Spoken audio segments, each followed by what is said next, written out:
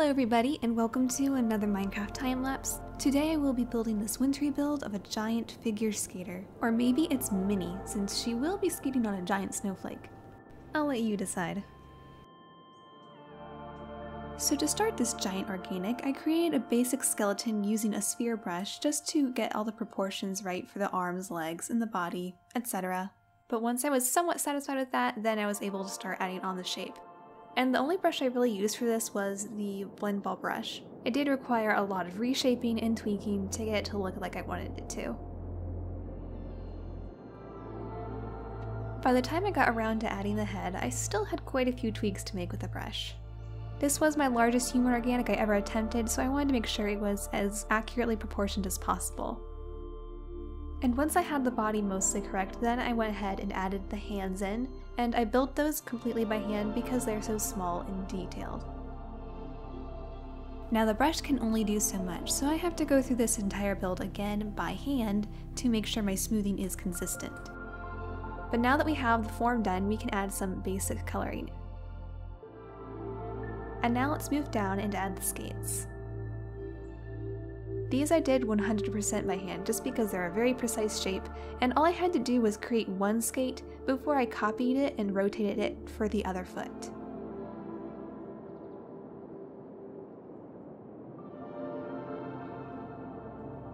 Now we can start getting into all the details, and I'm going to start with her face and her hair, which will make flaring out a little bit since she is in the middle of a spin.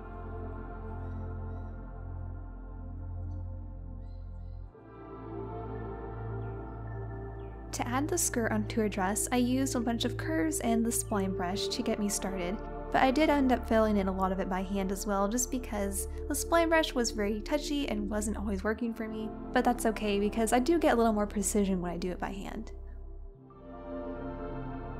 Once I finished the shape of the skirt, I wanted to add a second layer, so I replaced above it a couple times to get the exact same shape, and then just altered it a little bit so that it looked like a separate layer.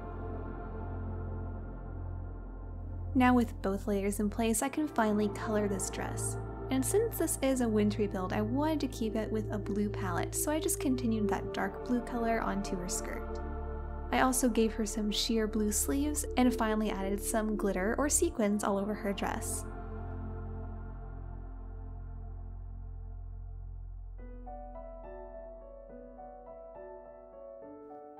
Now we can move on to the giant snowflake that this skater will be skating on. This was probably my favorite part of this build. It was just a lot of fun because a snowflake could look like just about anything, so I just made a bunch of random patterns.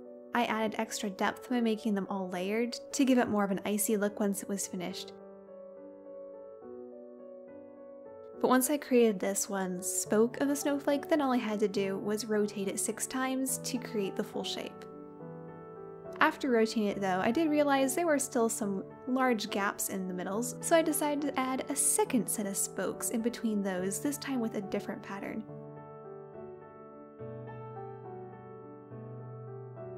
Anyway, I really loved how the snowflake turned out, and because I loved it so much, I just had to add a few more.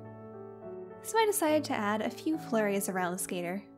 I started this by making a larger snowflake and a few smaller ones, as well as some swirling flurries in the sky. This was a lot of fun to make and just added a little extra bit of atmosphere to complete the build.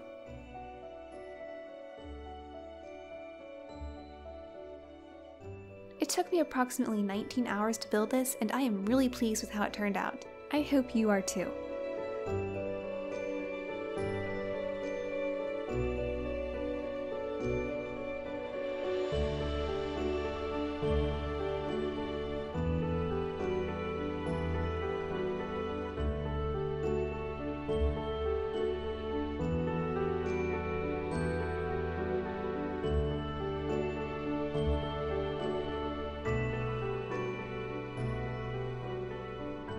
Well guys, that's all I have for you today. I hope you enjoyed this wintry build of this figure skater. I had a lot of fun building it, and if you did like it, be sure to let me know by leaving a like or a comment below. That would really help me out. Also, consider subscribing if you haven't done so already, and if you like what you see. Well, anyway, I hope you guys have a wonderful day, and I'll see you some other time.